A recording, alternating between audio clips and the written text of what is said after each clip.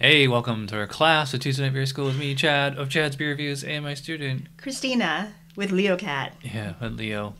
You went down. Yeah. All right. so we're continuing with all German beer month, even though there's a lot more than four styles of German beer. So we did last week. We did the Helles Bock. So, which Helles means light or bright. Remember? Yep. So what do you think we're gonna do this week? Dark. Yep. This one's called Dunkles Bock. Overall impression: a strong, dark, malty German lager beer. Did I really need the word beer in there? That emphasizes the malty, rich, and somewhat toasty qualities of continental malts, without being sweet in the finish. Comments: Decoction mashing plays an important uh, important part of flavor development as it enhances the caramel and Maillard flavor aspects of the malt. Now, I copied and pasted this off a website because we've talked about this many times. Decoction mashing. So I've Never really gone into it. yeah, I'm just gonna read this real quick. So, decoction mashing is a traditional method used in brewing beer, especially German lagers, involves removing a portion of the mash and boiling it before returning it to the main mash. So, like you know, like the way you make beer, it's like you get your um, barley and whatever other, like maybe oats or corn or whatever. Mm-hmm. Like you get it like really warm. You don't boil it, and like you let that sit for like an hour or two, and then you drain that. That's called the mashing process. Yeah. But with decoction mashing is what they do is before the hour's up or whatever, they take some of it out, boil it, and then put it back in. And it's supposed this these are the benefits. It's like enhanced Maillard and it's supposed to make it different technique. Yeah, like more bready, more toasty. Yeah, just is, is this is the this is the kind of chemistry stuff you need to know to uh, pass the BJCP entrance exam. But it's not really meant for this class. So, um, homework, everybody, look up decoction mashing. All right, so history. You guys can pause and read if you want. Character ingredients: Munich and Vienna malts. So that's like the base uh, malt of Germany. Rarely a tiny bit of dark roasted malt for color adjustment. Never any non-malt adjuncts. So no corn, no rice, no oats. Hmm. Continental European hop varieties are used. Clean German lager yeast. Style comparison: darker with a richer malty flavor and less apparent bitterness than a Helles Bock. Less alcohol and malty rich than a Doppelbock, which we'll do next week. Stronger malt flavors and higher alcohol than a Marzen, which- like Oktoberfest beer. Yum. Richer, less attenuated, and less hoppy than a Czech amber lager. I don't think you were here for that, but anyway, uh, unfortunately, I wasn't able to get any of these. I love that one, Aass Bock. Assbach and Ur-Bock. So this is another one from Sonderklasse Leipzig. This just says this says Dunkler Bock, not Dunkles Bock. It's 6.7 ABV. This is the only example I could find, and I thought about getting Shiner Bock, like to do as a head-to-head, but Shiner Bock isn't really a Bach. That's just the name that they use. It's also not very good. Yeah, like the specs for this style says 6.3 to 7.2, and Shiner Bock's like 4.6. I think this is the first time we've talked over the pouring. Yeah. Not really using the right glasses, but um, we're both using the St. Bernardus sampler glasses. Yep. So, so, you know, for experiment's sake, no difference in glasses. So, let's give this thing a whiff. Hmm. It's much breadier than the the Helles. Has like a sourdough bread quality to it for me. Uh, Yeah, it's not sour though. What do you mean It's- sourdough? It's it's a very specific smell. Like you, I can just like uh, this doesn't make sense, but I, like I can smell the darkness in this one. Like it just Yeah. it just has like that more bready. I guess it's like bread crust, like whole wheat bread crust. Yeah, if you went into this blind, you would know it was a dark. I can't pick up any hops on the aroma though. None. I don't think you really need. I mean, there's maybe like a earthiness. I do get like a little bit of like a fruity esters on this one. Mhm. You smell like kind of just an essence of. It's hard to pick out like any one fruit, but. Oh, just- it's like overripe fruit. Yeah. Yeah. All right, let's check the specs on aroma. Medium to medium high, rich, bready, malty aroma, often with moderate amounts of rich Maillard products or toasty overtones. Virtually no hop aroma. Okay. There you go. Some alcohol may be noticeable. I didn't get any alcohol. Clean lager character, yep. Although a slight dark fruit character is allowable. Wow. This thing is nailing on all cylinders. Yeah. Um, I'm gonna go pretty high on this one. I wish we had something to compare it to, but I'm gonna say 11. I think it's on. I'll give it a 12. Okay. Perfect score. Yeah, we need something to compare it to, but True. all right. So for appearance, I'm not sure how this looks on camera. I would call it. It's kind of like a copper red. Yeah. I mean, it's definitely. I mean, it looks brown, but it's it has that deep, um, you know, clarity Yeah. or like just deep color, Yeah. and it foamed up a little when we poured it. I think maybe it's just the shape of the glass or the lack of cleanliness of the glass why there's that much foam. But I'm surprised how much red is in this one, actually. yeah, it actually kind of looks like a burgundy wine or something. Yeah, it's very red. Yeah. All right, let's check the specs on appearance. Light copper to brown color, often with attractive garnet highlights. Yeah. Yeah, I would say garnet. Good clarity despite the dark color. Large, creamy, persistent off-white head. All right, so it does say large, creamy, persistent, and this is this is not. So I'm gonna give this a two.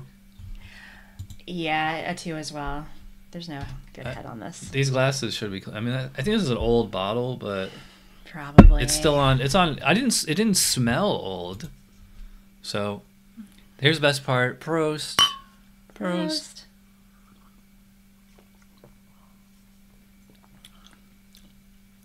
Prost.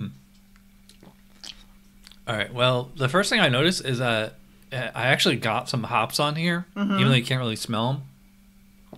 Yeah, um that dark fruit that we had on the smell, Mhm. definitely pick that up on here. Yeah. In fact, I would say it's actually. I think I would say it's more fruity than bready. Like it's not like a rich. Yeah, Um. because like the fruit was the first thing I noticed on this. Yeah. There's a sweetness to it. Mm-hmm. And um, yeah, I mean six point seven. So I mean it's strong, but it's not exactly like an imperial style. But it's way stronger than a standard lager or something. You know. Mm-hmm. Um, Um, what's the ABV on this? six point seven. Yeah, I thought Yeah. it was higher actually. I know if it was like nine point seven, well, which is next week, Dunkelbach or sorry Doppelbock. Um, yeah, it's a, a, a tasty combination. I'd say like of the fruity esters, bready malt, and actually there's some. I get uh, some hops on here too. Yeah. To me, it tastes like definitely like it tastes high alcohol to me. Actually, I think you're just more sensitive to alcohol than I am. you probably. Yeah.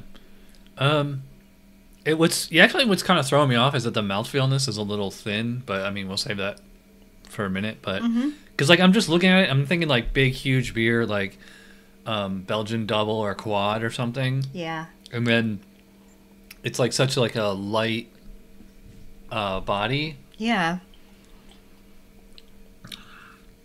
But yeah, uh, fruity, bready, and even a little hoppy. So And dry. I think it's pretty dry. Yeah, it finishes. This is not like a super sweet beer. I wouldn't. I wouldn't even. It's not a super dry beer either, but I would say it finishes dry. But you know, so it's it's weird because like it's the taste of fruitiness, but without like sweetness. I think it's a good balance because you don't get sick of it. It's not cloying. Yeah. All right, let's check the specs for flavor. Medium to medium high, complex, rich maltiness is dominated by toasty, rich Maillard products. All right, well, it starts at medium, and I would probably say this one is medium. Some dark caramel, so it doesn't like it doesn't even like it says medium, medium high, so it doesn't even go as high as like, you know, intense richness or anything. Some dark caramel notes may be present. Okay. Hop bitterness is generally only high enough to support the malt flavors, allowing a bit of malty sweetness to linger into the finish. Mm, I'm not really getting a lingering malty finish, but well attenuated, not cloying. Yeah, I agree with that. Clean fermentation profile. The malt can provide a slight dark fruit character. No hop flavor, no roasted, burnt, or dry biscuity character. Hmm. Well, actually, I think I get like a tiny little bit of like a earthy hop or something on here. Just like it's just a standard kind of dry bitterness that. Yeah. Um. So I mean, it's it's good for the style. I don't think it the taste hits the specs quite as well as the aroma did, but. I'm gonna go. I'm thinking 16 or 17. I'll say 17.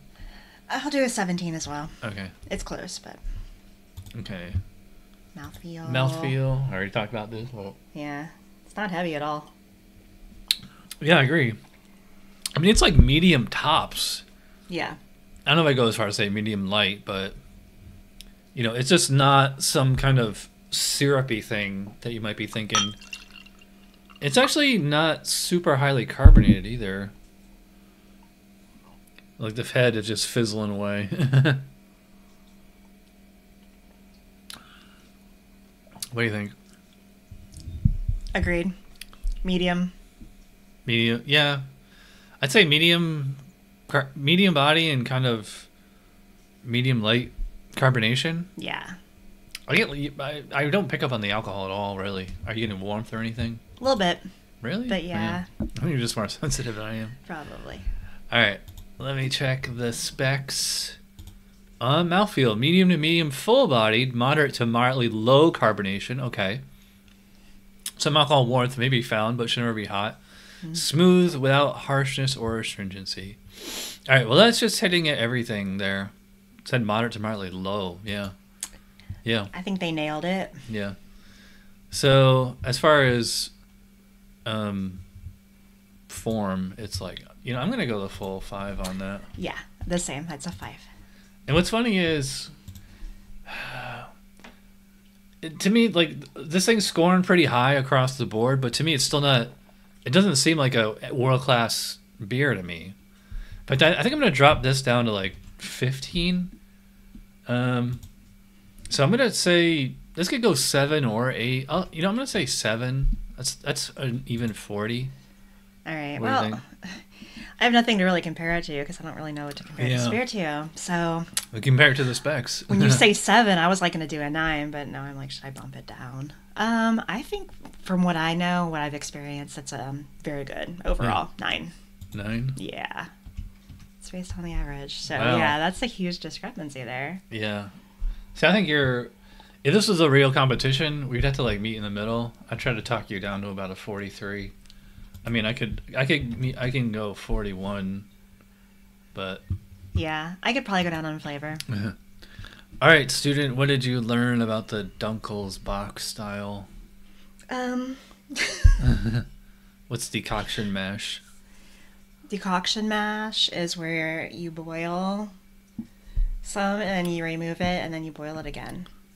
Yes, you take some, you drain some of the mash, boil it, and then put it back into the mash. Yeah, so you reuse it. Yeah. Kind of skip a step that way. It's very weird, but actually, maybe next time Brett's on, he can explain it because Yes. Yeah. Please. I've never like I homebrewed and I never use that technique. I a lot of people don't find it much to be gained, but anyway, that's for another story for another sermon. All right, so thanks to Cristina for coming over, Of course. and we'll see you next week for Doppelbock. Cheers. Cheers.